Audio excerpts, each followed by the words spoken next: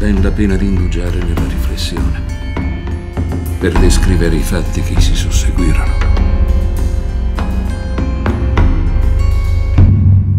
Sono Nicola Villone, nato nel 1809 e vissuto sino a vedere una seconda epoca per la nostra terra lucana.